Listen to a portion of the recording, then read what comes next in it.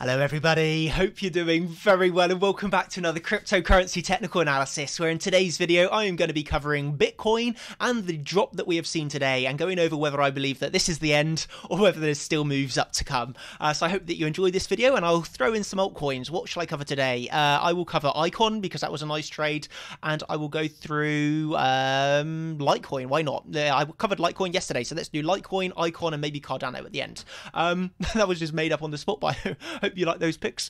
Um, so here we go. Let's start with Bitcoin. Obviously, the main star of the show at the moment. Bitcoin with its over 3% move, okay, drop down from the very high of the candle from today. So the high of the candle down to the low, we're looking at about a 3 point, about 3.7 moved, okay, from total of the move, okay, from the high to the low, 3.7%, which is substantial. We saw some altcoins coming down 10 to 15%, okay, and there the opportunity lies with trading the bounces, okay. I traded the bounce on Icon uh, and that was a very quick turnaround and for a very, very nice profit. Um, but yeah, I'm going to cover a Litecoin in that trade in a minute. But yeah, starting here with Bitcoin and saying what I believe is happening here. Obviously, I really liked the move down today to take out the liquidity, and I'll cover that in a second. But just showing you a really, really nice trend line here.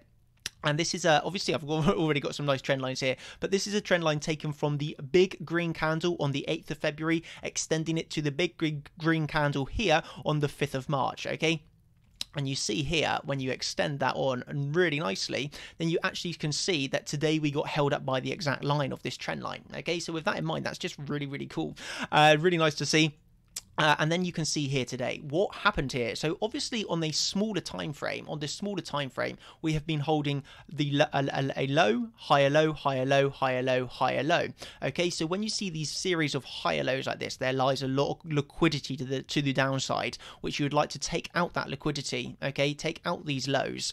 Um, you know, for the added liquidity if we are to push on upwards. Okay, so that's really nice that we obviously we found support on the, the trend line but if you like take a box of support obviously we did end up bouncing around the trend line and this box of support so then on a smaller term time frame, what I like to look at is the midpoint. So identifying here, I mean, it's really clear, clear as data where you can see this. So obviously we had the, you know, the start of the move up, which then come down in a bull flag for a move up again, uh, which obviously then, you know, didn't really turn into much. And we ended up moving up slowly with the higher, with the higher lows each time.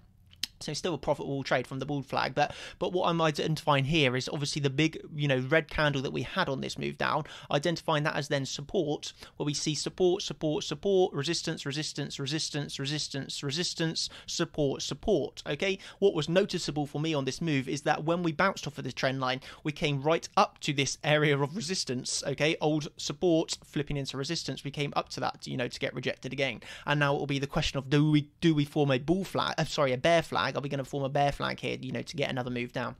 I would be looking at the 618, but this 618 is quite high to be honest here. That would be going through the resistance. Obviously, we've just bounced here from the 382. You know, you all know that I love trading 382s, especially when it lines up like this. This is my favorite trade, uh, along with the 618. But you can see, obviously, we I mean, goes without saying, we're at the 618, we do have this area of resistance again that we're going to need to get through.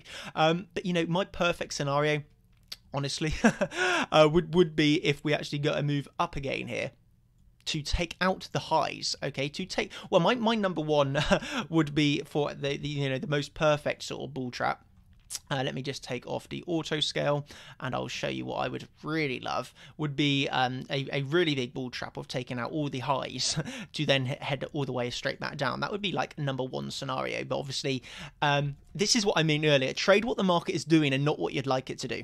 so this is important as I'm going through this. So although this would be my like preferred scenario, don't get me wrong, I'm not trading like this at the moment, but trade what the market is doing, not what you would like it to do. Please remember these words. They are very important.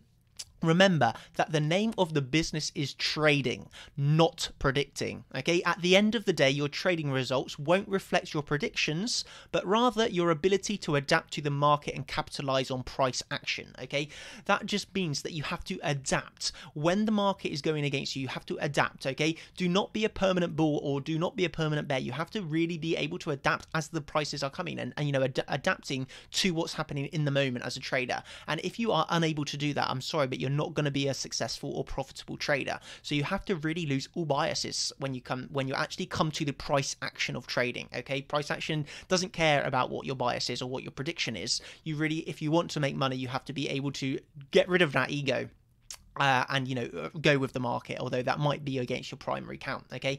And what's funny although i hardly follow any people obviously i follow about 45 people but some of these traders that i actually follow i, I counter trade or not counter trade. I don't exactly just see what they're doing and do the opposite but i, I like to see what the most are doing and do the opposite. There are a few traders that i like but um, yeah the majority are i, I counter trade but um well, not directly counter trade, but I like to see what's going on on those 45. Uh, it's quite amusing but yeah, a lot of a lot of people. Obviously, I'm on crypto Twitter, and what I noticed is a lot of them, or not not directly these 45, but you know, in that in, general, people have such an ego, and they really do not like admitting they're wrong. Um, so it's just highly, it's just hilarious that you know, uh, obviously, crypto Twitter, the space where traders never lose.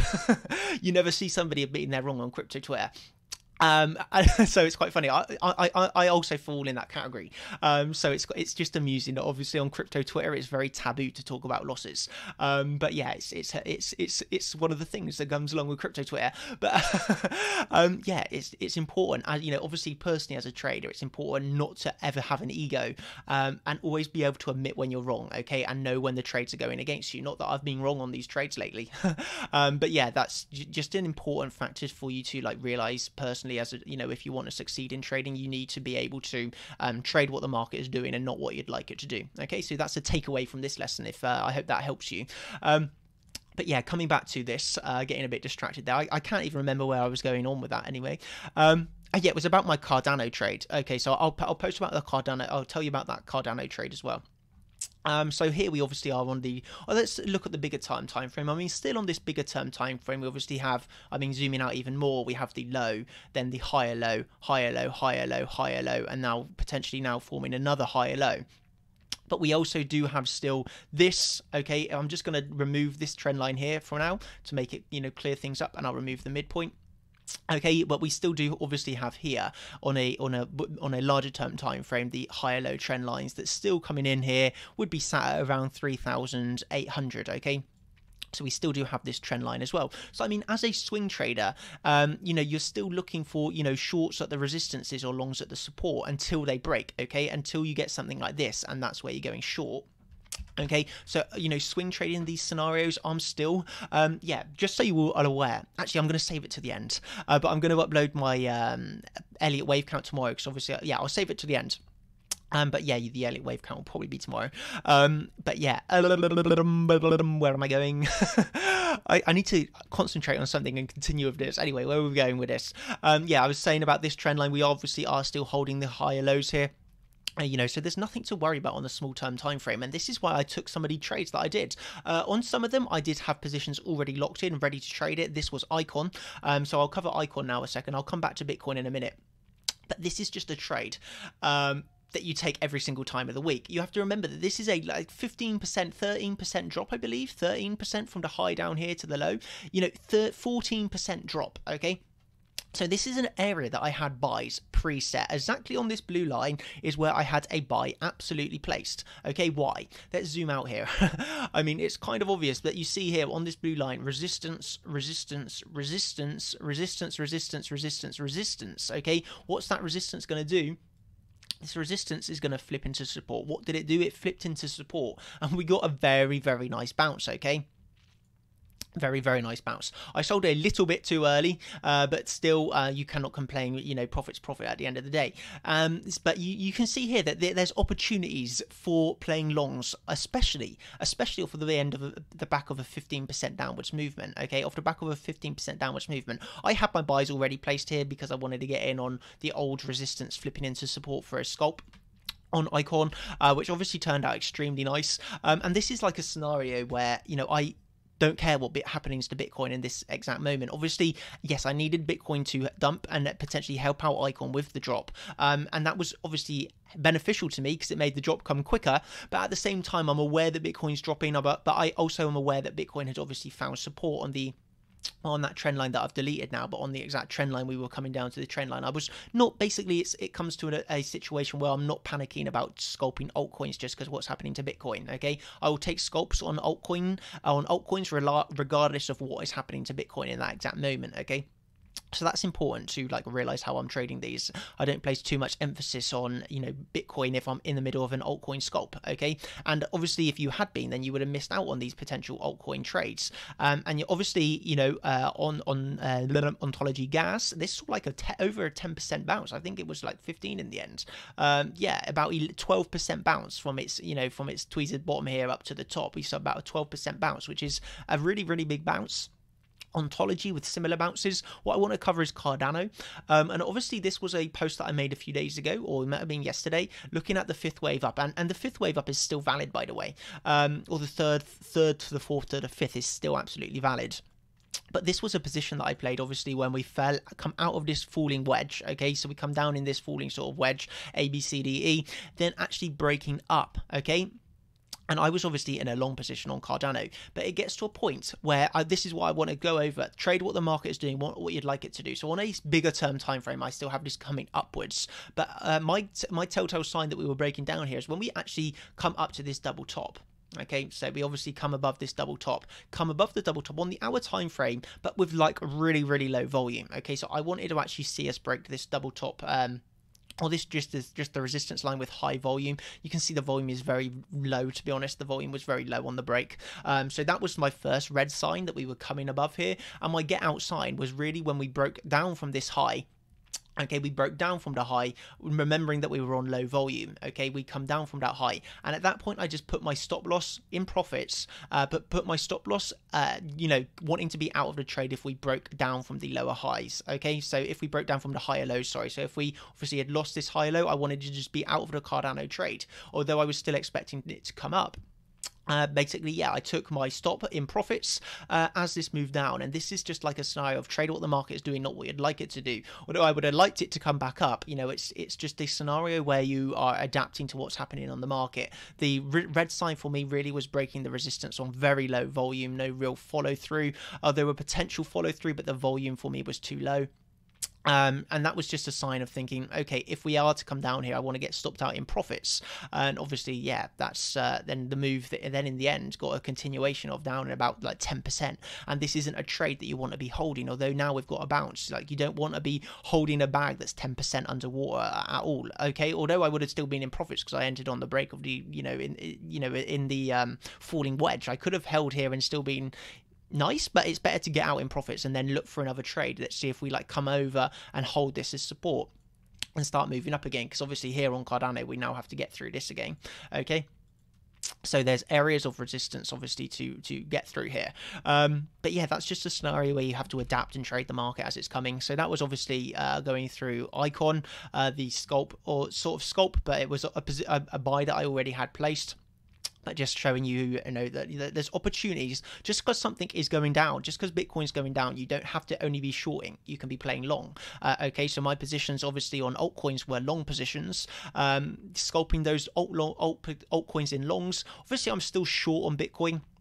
So I am still shorting Bitcoin. Um, even though my preferred scenario is that we break some of these highs, I think it would be lovely to break some of these highs and get a sort of fake out uh, before we end up coming down. Um, but yeah, that that's still my preferred scenario that we could get some of this higher liquidity um, before we break down here. But yeah, just because again, just because that's what I want to happen, that doesn't mean it's going to happen. Uh, but I am still shorting Bitcoin because I still believe we're, believe we're in wave two.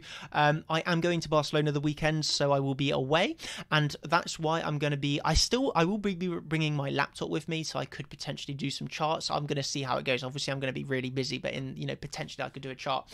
Um, unlikely, but potentially.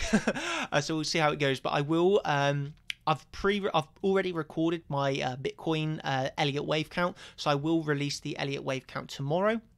Uh, it's all pre-recorded, so I can just literally have to click upload. So I will upload that for you all tomorrow. So I hope that you enjoy that. Uh, currently, as I'm speaking, uh, it's in profits, so it's very very nice. Let me just mute this a second.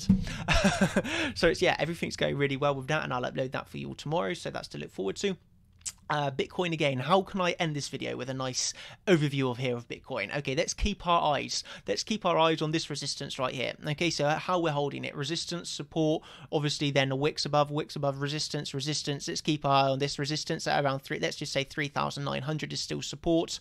Um, obviously, we have on a lower term time frame taken out the liquidity now, so that's a, a nice sign that we could potentially see a move up. Okay, so we have taken out the lower side liquidity. That's for me really nice. Um, um, but there is still a lot of liquidity to the downside below this, you know, what we're looking at potentially as an ascending triangle.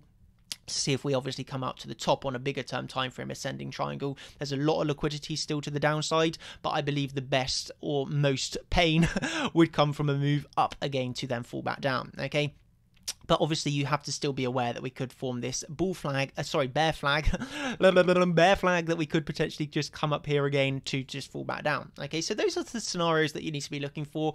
Um, i will be away um, you know obviously i'm gonna gonna get get on the plane and things. So yeah i will struggle to update you um, but obviously, I'll try my best to update if there is a big move or a big trade to be entering. I'll do my best to update. Um, but I hope that this video has been beneficial for you all.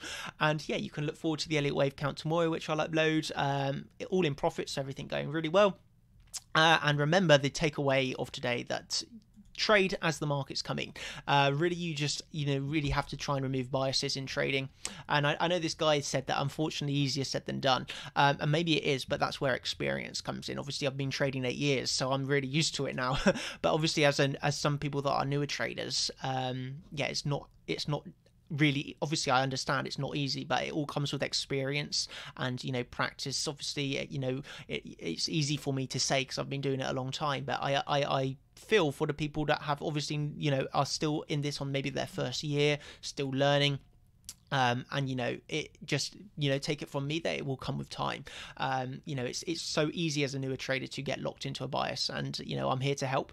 Uh, and i am actually going to be making a whole, whole course on risk management and the psychology of trading because for me psychology of trading is really really important thing to understand and master. So that along with risk management um, so i am working on that for you all so that would be nice um, and yeah, takeaway, uh, yeah, please, hopefully, hopefully that's helps you out. Um, so yeah, uh,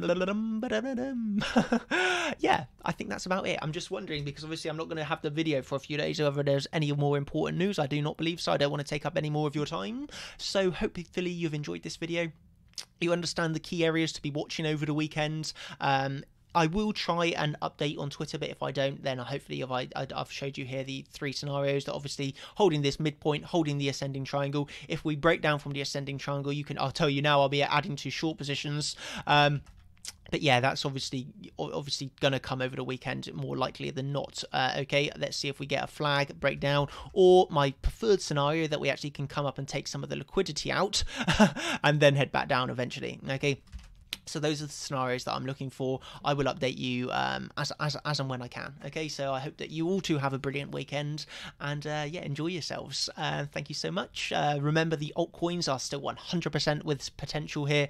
Uh, you know, today, just you know, today alone in the last few hours, some of them have seen 10% bounces. So opportunities still there with alts 100%. And uh, yeah, hope you've hope you enjoy your time trading. Thank you everybody for watching. Uh, please give me a like if you've enjoyed. Appreciate. It. Thank you so much if you do and uh, you know, have a great day. Cheers.